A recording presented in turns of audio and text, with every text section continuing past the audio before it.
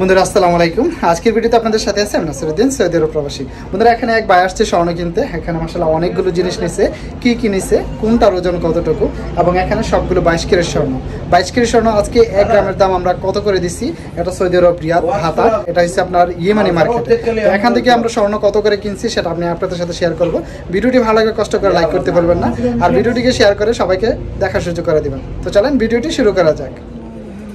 তো বন্ধুরা দেখতেছেন, এখানে ভাই মাসাল্লাহ অনেকগুলো জিনিস নিচ্ছে টোটাল ওজনটা যদি বলি, এখানে আঠাশ গ্রাম সাত পয়েন্ট আছে। টোটাল ওজনটা হলো এখানে আঠাশ গ্রাম, সাত পয়েন্ট তো এখানে একটা নেকলেস আছে, দেখতেছেন? সিম্পলের মধ্যে যদি নেকলেস নেন নেকলেসটার ওজনটা মাত্র এখানে সতেরো গ্রাম, সাত পয়েন্ট আছে। সতেরো গ্রাম, সাত পয়েন্টের মধ্যে আপনি কানের দুল সহকারে নেকলেসটা পেয়ে যাবেন। আর যদি শুধু নেকলেসটা নেন, এই নেকলেসটার ওজনটা হবে আপনার তেরো গ্রাম, সাড়ে তেরো গ্রামের মতো হবে। শুধু নেকলেসটা আপনি যদি নেন। যদি নেকলেসটা আমরা সাড়ে তেরো গ্রাম ধরি, আমরা যে প্রাইসটা দিয়েছি, এক গ্রামের দাম আজকে দিয়েছি দুশো আটত্রিশ টাকা প্লাস পড়ছে এখানে। দুশো আটত্রিশ টাকা আশি পয়সা মেবি তো এখানে প্রাইসটা আমি আপনাদেরকে জানিয়ে দেবো। দুশো আটত্রিশ টাকা আশি পয়সা পূরণ। শুধু নেকলেসটা যদি নেন, তেরো গ্রাম পাঁচ পয়েন্ট তেরো গ্রাম পাঁচ পয়েন্ট শুধু নেকলেসটার দাম আসবে আপনার তিন হাজার দুইশো তেইশ টাকা। তিন হাজার দুইশো তেইশ টাকার মধ্যে আপনি এই নেকলেসটা নিতে পারবেন, শুধু নেকলেসটা কানের দুল ছাড়া।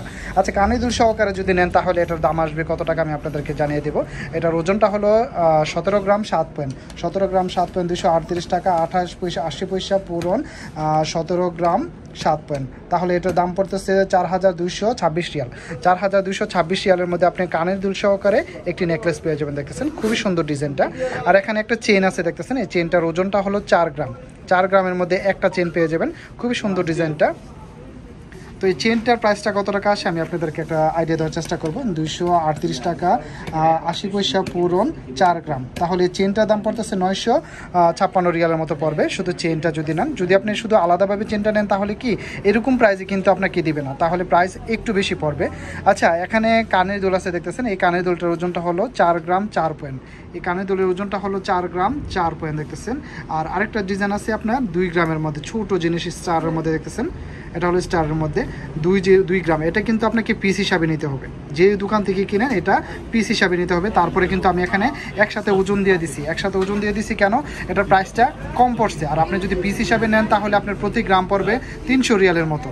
তিনশো রিয়ালের মতো এক গ্রামের দাম পড়বে। তো আমরা কিন্তু একই দাম দিছি আটত্রিশ টাকা, আশি পয়সা করে দিছি। তো এটার দাম আসছে আপনার দুই গ্রাম তো, দুই গ্রাম আমি আপনাদেরকে প্রাইসটা দেখাতেছি, আটত্রিশ টাকা, আশি পয়সা পূরণ, দুই গ্রাম।